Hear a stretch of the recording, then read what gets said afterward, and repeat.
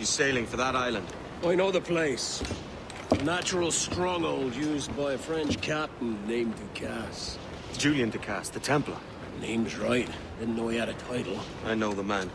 And if he sees my ship, he'll know it from his time in Havana, meaning he may wonder at who's sailing her now. I can't risk that. And I don't want to lose that galleon. Let's think on it. Maybe wait till it's dark before hopping aboard.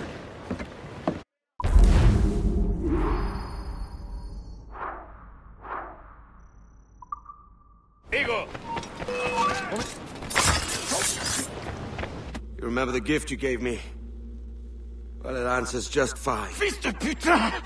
As bold as a musket ball, and still half as sharp. Ah! I'm sorry about this, mate. But I can't risk you telling your Templar friends about me still kicking around. I pity you, Bucanier.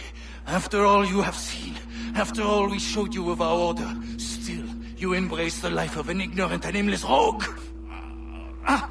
What's this? Is petty larceny the extent of your ambition?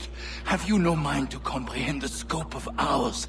All the empires on Earth abolished, a free and open world, without parasites like you. Que l'enfer que tu trouveras soit le fruit de ton insouciance. Ah.